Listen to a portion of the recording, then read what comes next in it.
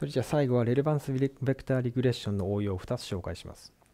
1つ目は以前から紹介しているこの人の姿勢推定です。こういう人が歩いている画像から人のシルエットだけを抜き出して100次元のデータのベクトルにします。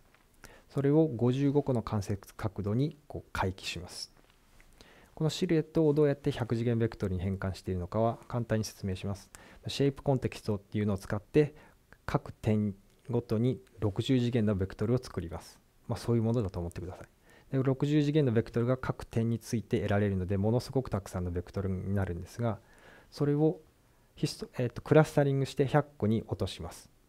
で各点を100個のこう各シルエットを100個の点にどのくらい割り当てられたかというヒストグラムで表現します。ビジュアルワードヒストグラムというようなものと似ています。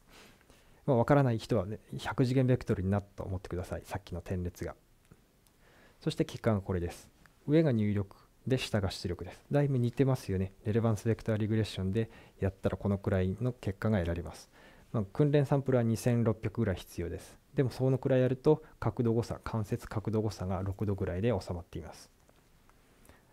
これが1つ目の例です。2つ目の例はディスプレイスメントエキスパーツ。これもレレバンスリグレベクターリグレッションで学習しています。これ何か顔をこうやって追跡するものです。